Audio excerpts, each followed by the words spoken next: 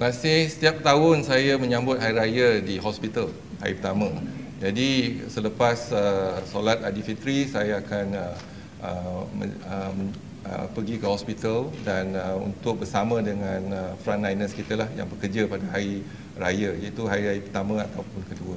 Jadi hari tahun ni pun tak ada bezanya. Jadi kita sama-sama mungkin kita ada akan solat uh, hari raya di rumah dan lepas tu saya akan juga ke hospital dan untuk bersama dengan frontliners.